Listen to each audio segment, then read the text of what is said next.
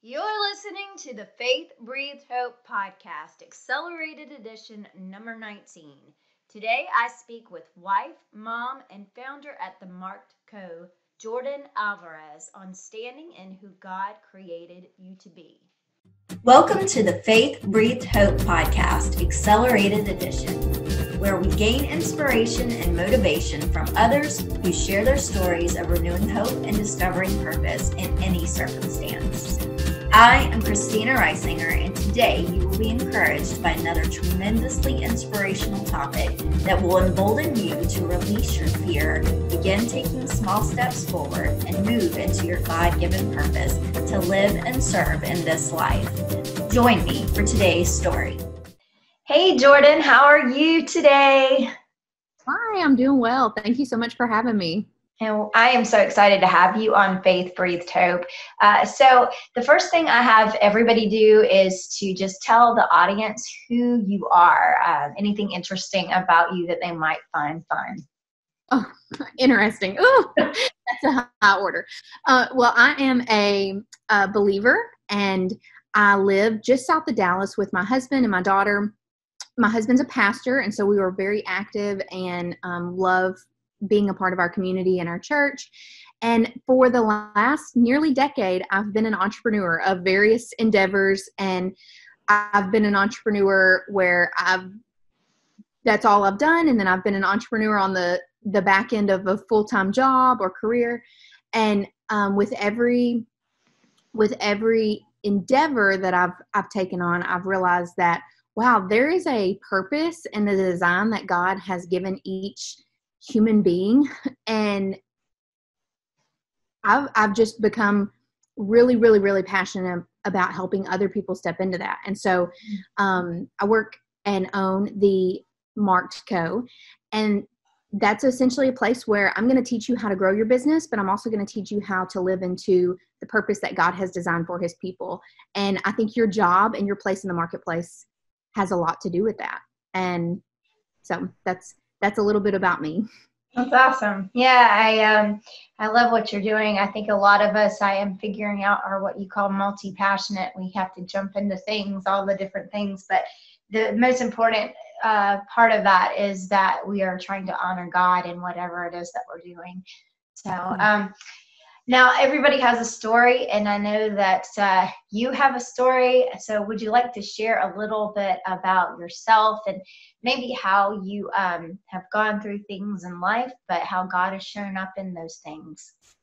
Yeah. So, it's so neat to look back over my life as a believer because now, on you know the other side of it 21 years on the other side of it i realize God's hand has been in so many different events in my life, or, or, all of the events in my life, but some are just very clear and visible to me.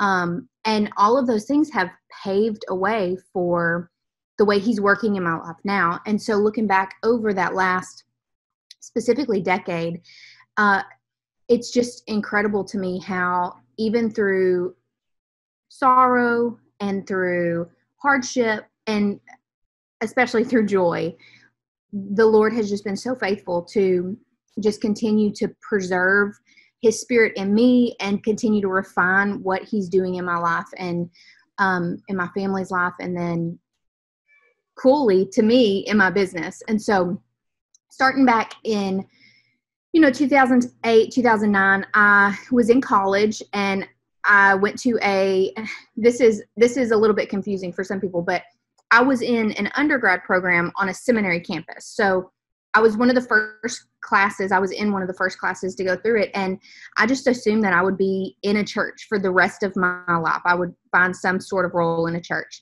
And as I continued through that degree, I realized, like, man, I'm wired a little bit different than these people.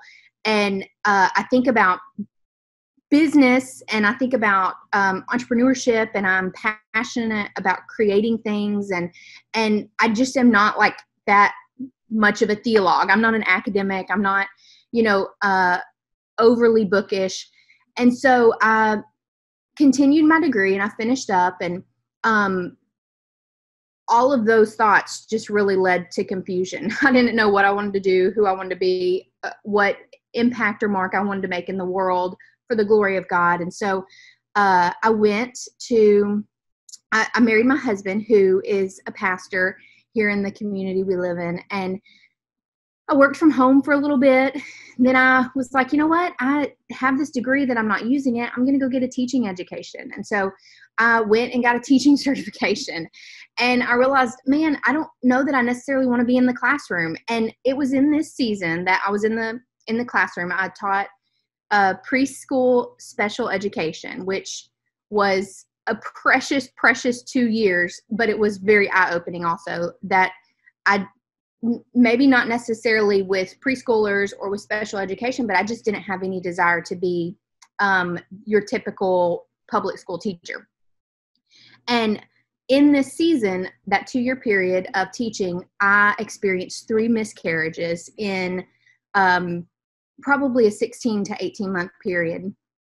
And that, alongside realizing I don't know that I'm particularly called for this role as a teacher, a public school teacher, that in that season even more clearly told me that I also did not want to give my time to um, someone else's 24 babies. And teachers are a gift from God. like the the women that um, brought me up and the men once I got to high school in my education are foundational to who I am today. And many were believers. And uh, but I just recognized that wasn't who God created me to be. and so I'm going through this. I'm experiencing this alongside the sorrow of miscarriage and i just realized i want to be present for my family whenever god decides to give me a family whether that's through our bi- biological children or whether that's through adoption. And it was that moment that i said i've got to figure out something to get out of the classroom so that i am available to be with a family whenever god decides that that's something he's going to give me. And that started my um the the the biggest portion of my entrepreneurial endeavors. I picked up a, a job working from you know my cell phone. I, I sold skincare and I ended up matching my teaching income. And then I was like, man, people really don't know how to market to their perfect customers or how to build their online presence online or their personal brand. And so then I shifted into the Marked Co. And for the entirety of my uh, daughter's life, I've been home with her. And I know that that's not something that everybody desires. And I know that that's something that um, everybody doesn't isn't fit for and that's fine but i recognized early on and i'm just so so so thankful to the lord's goodness and just um his protection in all of that season and uh recognizing that that really difficult journey through miscarriage and then the fear and the things that come alongside having a healthy pregnancy uh, just really ended up being a, a blessing like again god's providence in showing me and revealing to me his his will through his word and the time that i spend with him. And i look back and i'm just so thankful for um, the things we experienced, of course, not the loss of our babies. We wish more than anything Ellie was number four here on earth with us, but um, the Lord is good. He gives and takes away, and He is still good. And um, so that now is what in the Mark Company, like that's driving a lot of what we're doing in the Mark Co. is helping you to recognize the Lord is good, and um, we live in a world filled with sin, but He still has purposes for His people. He still has um, a design for this world that needs redeeming and he wants to use you as an agent in that. And that's an incredible incredible thing that i'm so thankful that i get to take part in. That's so lovely. You know I, i'm so thankful that you talk about this this idea of being wired differently because my whole life i felt like i was wired differently as well. I think a lot of people may think that more so than you know they let on. Mm-hmm. Um, but just knowing that it's okay not to follow suit with everything that is normal. I mean, I. I remember you and I are kind of uh, similar, where I had an undergrad and then uh, decided for certain reasons that I was going to go uh, be certified as a teacher as well. I taught middle school for seven years, and you know I loved it Um, but then there was that that point where that you know your life changes, that rite of passage. You move to a different space and became a mom for a little while, and then started my my journey of entrepreneurship as well. And um, you know, when you were talking about trying to um, be who God created you to be, you know, it came back to me, and I listened to a lot of um, pastors and, and, and people on uh, podcasts and everything. And I love Joyce Meyer. And she uh, had talked several times, I think, about how she at one point felt like she needed to grow tomatoes or something like that. Like her neighbor was growing tomatoes and, you know, her tomatoes just would not grow and she didn't understand. And yeah. Have you heard that? So she no, said, "No, I haven't." Continue. continue. So she she said she prayed over her tomatoes. She didn't understand why her neighbor's tomatoes were beautiful and hers were not because she prayed over her tomatoes and and she mm-hmm. realized that the Lord came in and He said, "You know what? It's like I never told you." to grow tomatoes. Basically, you know, stay in your lane, stay in what I created you for. And I think so many times uh, we're trying what what is that saying? We're trying to put a um, square peg in a round hole. And i've often felt like that myself like even with the coaching um, knowing that the the traditional idea of coaching follows a certain formula. You know the formula is not hard it's easy. But for whatever reason for me it was really hard to fit into that formula. It's always called to be different you know? And i think so many people um, out there maybe secretly like that. They may secretly feel like they have a square peg that, uh, you know, they're trying to fit into a round hole. And just knowing that God gives us permission to be who He makes us to be, who He's created us to be. It's just an amazing thought, isn't it? Yeah. you know, with that, I think about my early efforts at building a business and you have all of these like you said like the formula is easy the coaching formula is easy to follow and the same goes for the formula for building a social media platform is easy the formula for email marketing is easy the like all of these formulas are so easy and they promise you know you do x and you'll get y results mm-hmm. and that's fine and if that's the case for your business and what you're doing that's that's perfect but what i've learned in the last um really the last even few months is when I say that I am working for a greater purpose than my business growing or working for a greater purpose than increasing the number of opens on an email marketing campaign.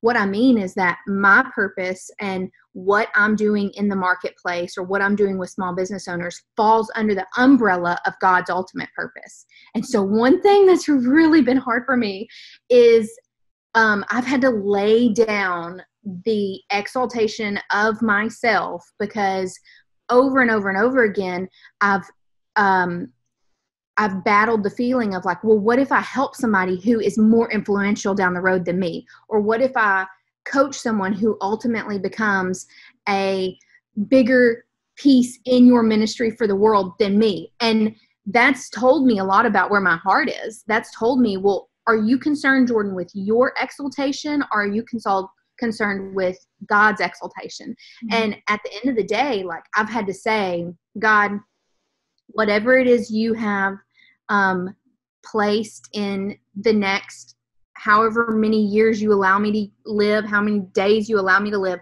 like I submit that to you. If it means that it doesn't look like my dream or what I believe should happen for my life, I submit that to you. And I want your ultimate purpose to be fulfilled on the earth. And just as long as I'm a, a player in that, you know, even even if it's a small player, that's something that I've had to submit over and over and over. Like, God, kill whatever fleshly in me rises up constantly to want to to be exalted or be the influential person or be the voice that helps people like like just use me in the way that you would use me. And i think that goes back to that uh looking at other people and saying hey well she's doing this and it's working for her maybe i should do that and it's working for me. Like that's not the case. That's not the case especially in god's kingdom like the the wisdom of the world is foolishness you know?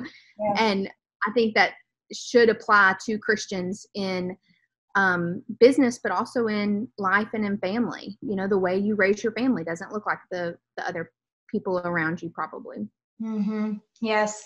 And this, ladies, is why Jordan is our speaker for the Kingdom Women Summit this uh, January. You can catch oh, her.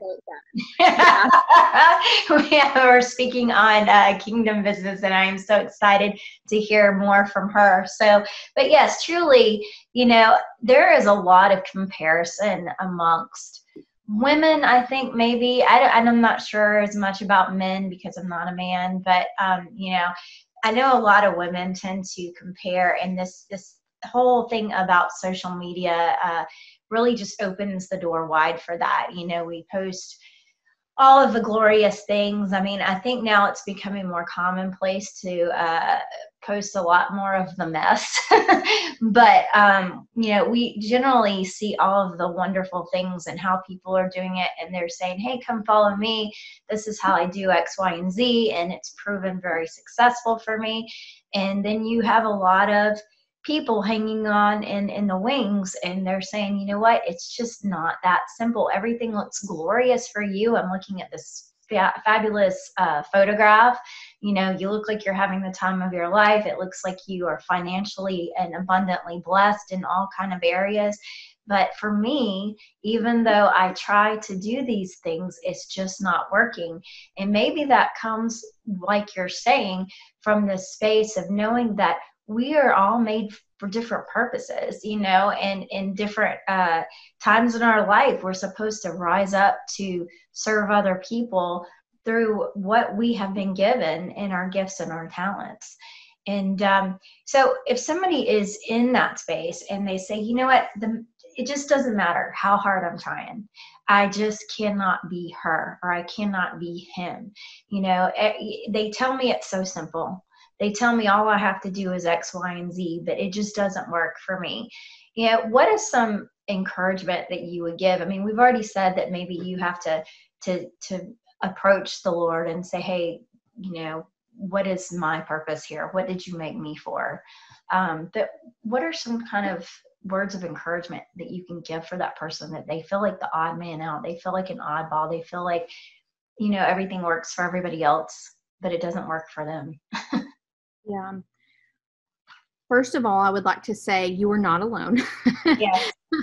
um, I don't speak for everyone, but I can certainly speak for myself whenever I say I have been where you are at. And secondly, I would like to say that, of course, of course, of course, social media is a highlight reel. Like we know that social media, and even um, you might be looking at a business coach who is talking about her success or his success and where he's been and where he is now. And and they it's a sales page. They their goal is to get you as a customer and they want to show a clear path from where they were potentially where you are to where you could be. Mm-hmm. that is a like weight loss products um the food boxes at the store. It is a marketing strategy. And so understanding that and being gracious to that and allowing yourself to to think through and process that under the filter of understanding this is a marketing strategy. And there's nothing wrong with a marketing strategy but there is something wrong with you identifying with that and then defining your worth based on it. So we need to be able to separate a marketing strategy from something that is telling us who we are and what we're worth. And for a believer, the word of God tells you who you are and what you are worth. You are a child of God, bought by the precious blood of Jesus Christ. And so when we look at these things, social media, um, someone's personal brand that looks like very, you know, authentic and genuine to who they are, and we need to understand that's a highlight reel and a marketing strategy. And it's okay for them to have a highlight reel and a marketing strategy. It's not okay. It's actually sin for you to base your identity and your worth on that. And I, um, like I mentioned before, have been where you are. I like even this morning before this podcast started, there was a few minutes and I filled it scrolling my social media feeds. And I think we need to put on and remember that all things are permissible. All, to believers all things are permissible. And it's okay for you to have a social media presence. It's okay for you to market your business or your products or whatever it is on social media. But it's not okay for that to take the place of your worship. And when we place our identity and when we say my enoughness who I was created to be is based on what someone else says on social media or in their sales page, you've walked into sin. And um uh, like this is I'm preaching to the choir here. I'm not I'm not even uh and so understanding that and understanding that it's not sin to market your business. And let's think about sitting in a Bible study with the closest accountability in your life, the people who are allowed to have a voice in what you do or don't do are allowed to offer accountability to you. Your wise counsel your it's for us our life group. Our life group is my wise counsel and then our uh, staff of pastors is is you know also wise counsel. They have a say in my life. They get to decide you know hey, that's sin, you should probably turn from that. Like, here's some scripture to support and scripture to encourage your heart in this season. Um, even sitting in that group, there's fear about confessing your mess or talking about the ugly or mm-hmm. um, repenting of sin that you've committed. So, why in the world, when people have a worldwide platform on social media, would that same fear not exist you're not seeing all of the the mess and the in between and the dirty and the fact that you know our kids are up in our face during work and we're struggling with the same things you're struggling with because they're those are things that are even hard to say to our closest accountability and mm-hmm. so when we understand and we can view social media and the marketing world that surrounds us with that lens and with the lens of the gospel that says christ and his blood and his sacrifice has made you enough your redemption your standing before god depends on him. It doesn't depend on who you are and what you believe you are based on someone's social media platform. That's whenever we can step into who god has actually created us to be. Whenever we understand like okay my weakness is actually my strength. My weakness is actually where god's glory is going to get to to shine through. Um I, and it's sad because I see people constantly, like we see teenagers and youth growing up in this social media saturated world and believing that they have to be a certain type of person or show a certain amount of skin in order to be loved or appreciated. Uh, it's just, it's sad. It is really, really, really sad. And, um, but as believers, we have hope. We have the opportunity to come beside them and say, hey, this doesn't define you. Mm-hmm. And um, the number of likes or how quickly your business is growing or how quickly your influence is gaining traction doesn't define you. Mm-hmm. Who God said you are defines you. And you know, even if you influence one person in the course of your your lifetime, it's gonna it's gonna end and it's gonna look to the world like foolishness. Like, ugh, one person, what does that matter? But you have no idea what that looks like in under the surface of what God has going and working um, for His glory. Mm-hmm.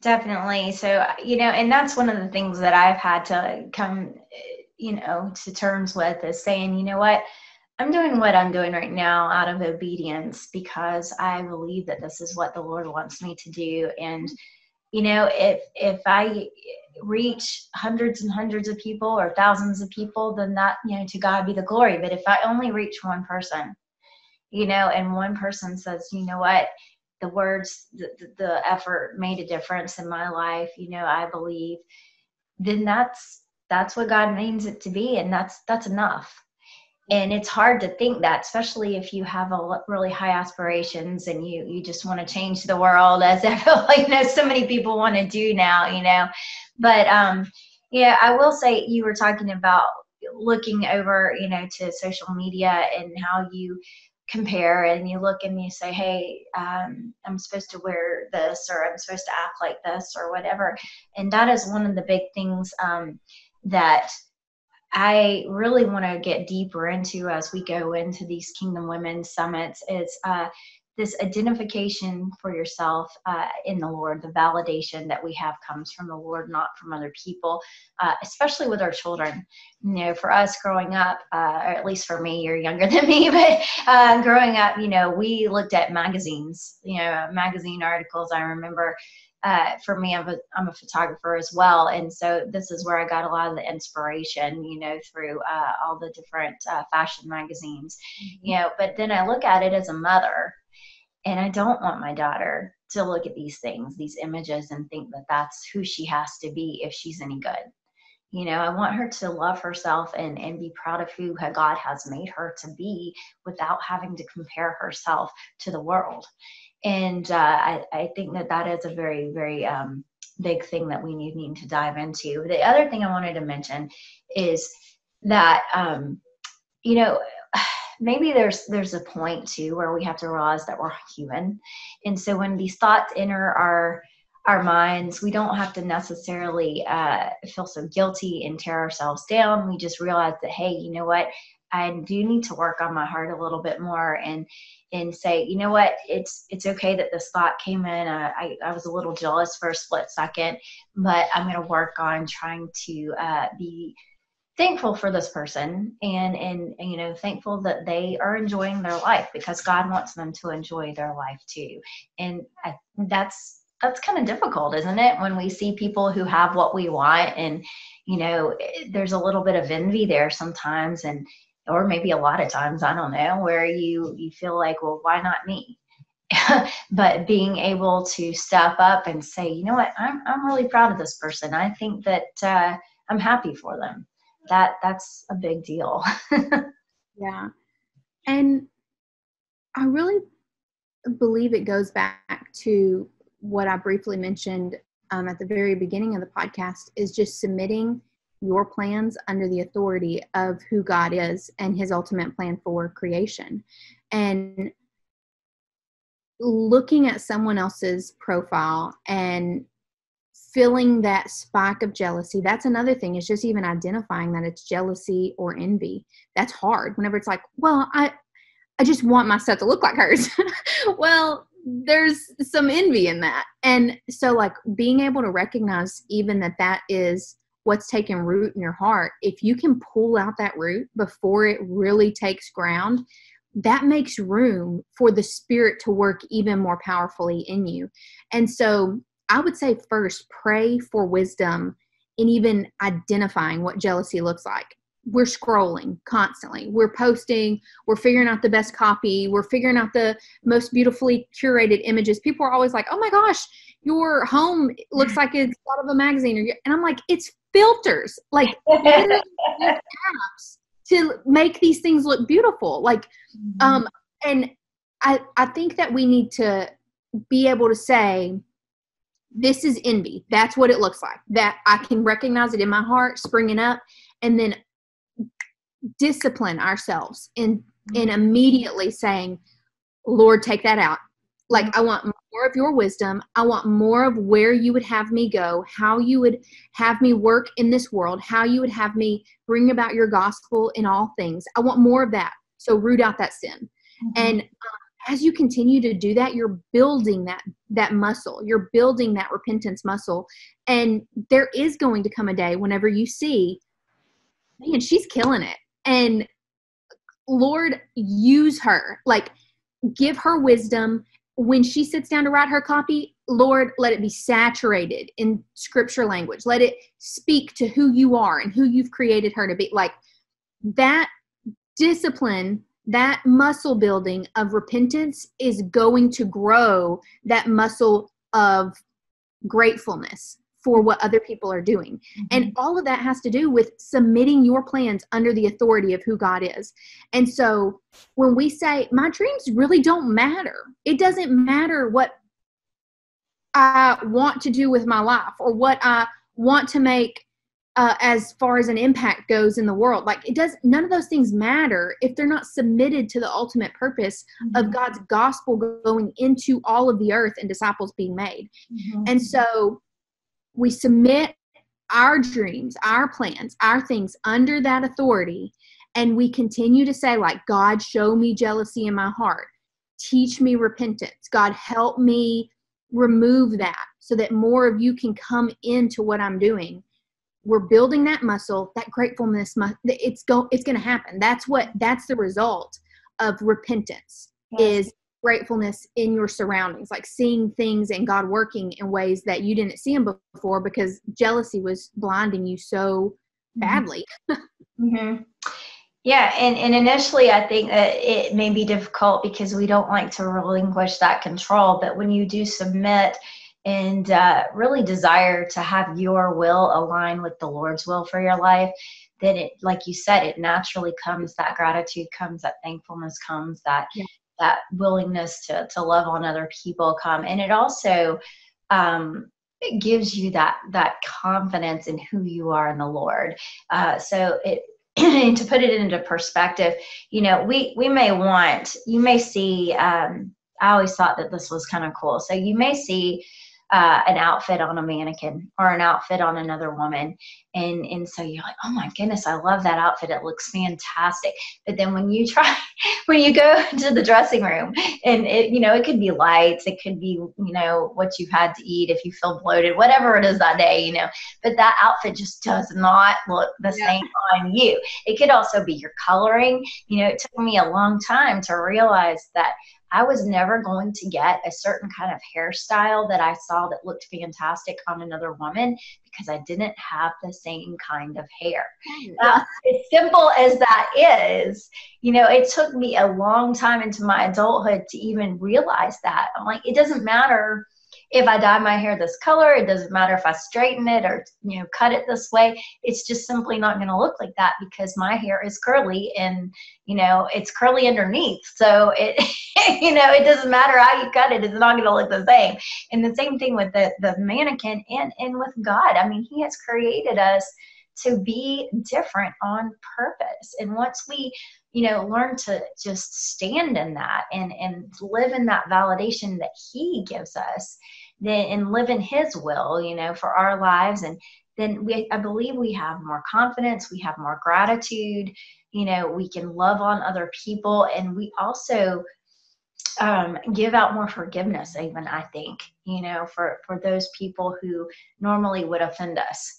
And you know we we would want to lash out at them. And then we start seeing things and saying you know what they they've been through this or that and they're completely different than us. So it's that what did you say earlier? Grace right? So I, I, love that. Um jordan do you have any uh other words of encouragement for um, you know we talk we talk a lot towards ladies but it could be a man or a woman out there who is just you know still kind of struggling with this. Maybe it's this whole idea of perfectionism trying to live up to um, the dream whether it's something that they feel like society has uh, put in their head or for whatever reason their standards growing up have uh, made them feel that this is the way that they have to be. But mm. uh, you know maybe they're not they're not going to be that way you know but it's okay right? Do you have any encouragement for them so uh, perfectionism is uh, deadly. Yeah. only is it spirit killing and it you know speaks out any element of what the spirit can do in your life through your imperfections. Uh, it's exhausting. It is absolutely exhausting. And I, I with with perfectionism in my own life it shows up often. I had to realize it is the lord's grace that he's not giving me all of the information every single step right here. But the perfectionist in me said well i have to have everything in order before i launch or before I disciple this young girl or before I, I have to have all of these ducks in a row before I do all of these things. But, but really, it's providence and it's God's faithfulness that He would only give us one element of it. And in those of your audience who are struggling with perfectionism, in your heart, I know what you're feeling is anxiousness because you don't have all of the pieces, and perfectionism holds hands with control. But at the end of the day, God has given us a relationship with Him so that He can be in control and hold the full weight of that burden of having to have everything in order, having to have everything aligned, having to have all of the pieces um, laid out exactly like they're supposed to be laid out in the in the end. And as an encouragement to someone who's like really holding on to that and not wanting to let go of that control, it actually turns out more beautiful in the end if you do let go of control. If you do allow yourself to say like this is going to be pretty ugly in the beginning. This is going to be pretty terrible in the beginning because I only have this much of the fullness of what God is planning to do in my life. I have a picture that's even probably smaller than this. Mm-hmm. But as you walk in obedience with the Lord, and as you say, okay, Lord, you know, I only have this much, and I don't know how to use this platform, and I don't know how to post this stuff to this group of people, and I don't know how to launch this product. And those are the things in business. It's the same for every element of life. I don't know how to read your word. I don't know. As you say, okay, I understand that these are my weaknesses and my insufficiencies. God shows up and says, it doesn't matter. I'm sufficient and gives you another step. Mm-hmm. He says, okay, now you have two pieces.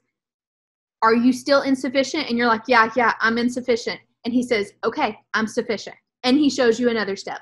And then as you walk in obedience, what ends up happening is way more beautiful because it's a redeem it's a redeemed person at the end of it and with a redeemed person comes the redemption also of creation and their surroundings and making everything around them shimmer because it's been touched by a person who's working in the will of God. Mm. As you are walking in obedience, you're creating a more beautiful picture because you're allowing God to come into it instead of having to say, Well, God, I want to tack you on as a hashtag to the end of whatever my life goals are. like as a as a you know life analogy, we're not tacking God on as a hashtag he is the fullness of everything we're doing. Yes. And so obedience is a muscle that you grow, just like repentance. Obedience is a muscle that you grow, and it has to be grown in order to let go of that control, in order to trust, okay, God does have um, the good of his people in mind. God does have my good in mind. Mm-hmm. And over and over and over. And you're going to see that this in picture is so much grander than anything my little brain could have ever dreamed up.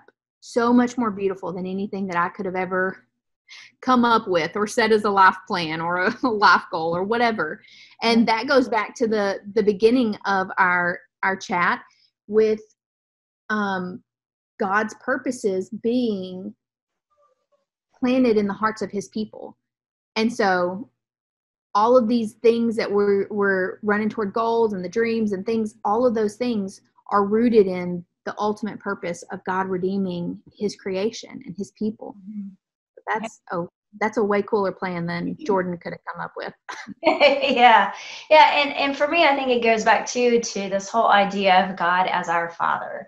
You know if you think about the relationship between a parent and a child it's very much the same where you know the kids have to learn to walk in obedience. Uh, they're naturally uh, rebellious, I think. At least mine might be. But I mean, they they have to learn to walk in obedience, and they have to learn to trust that. You know, it's not us saying, "Hey, don't run out in front of that car because we don't want you to have any fun." You know, don't go get your ball. It's because we see that the car could hurt them you know we're trying to protect them. And you know we want the best for them as their parents. And i feel like god is is that way as well. He wants the best for us. So he's his no is not a, a, a bad thing. It is it's a good thing. It's a sign of mm-hmm. protection and a sign of love. So um and you know it's interesting that you talk about the elements and how he gives us a little bit in here and a little bit there. I just did a um a podcast. Uh, I went solo. I didn't do an interview, but we talked about stewardship. And I very much have seen that in my own life over the last year about how, uh, you know, we can have these great big dreams and these these passionate desires that we want it and we feel it. We feel it's huge, but then we're not getting it. we're not getting, we're just getting little pieces. And I think that we are called to make sure we take care of those little pieces before He, you know, reveals us. We have to prove that we trust Him. We have to prove that we're going to be obedient. We have to prove that we're going to be faithful. And then He says, okay, you know what? I think that you can handle this. Maybe you can handle a little bit more and so mm-hmm. on and so forth. And I know with everybody it's different. You know, some people move faster than other people, but at least that for me and in my own personal life experience has been the key is knowing that I'm I'm growing. You know, he's he's giving me that opportunity for growth. So it's pretty exciting when you look at things that way, anyways. So, uh, Jordan, can you tell the audience where they can find you? Of course. So, I am on social media platforms as the Marked Co, or I have my personal platforms as well, Jordan Alvarez.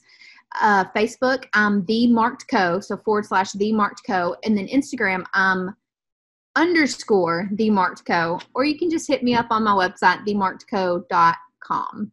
Awesome. Awesome. I'm so glad that you are here on Faith Breeds Hope today with us. And if you want to hear more from Jordan, make sure that you join us for the Kingdom Women Planning Seed Summit, January 21st through 23rd. You can go to kingdomwomen.net to get your tickets.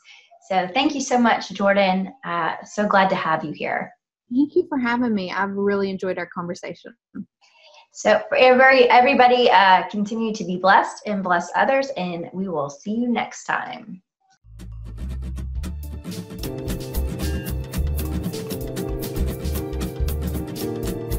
And I want to thank you for joining us on Faith Breeds Hope, where you gain inspiration and motivation to renew hope and discover purpose in any circumstance.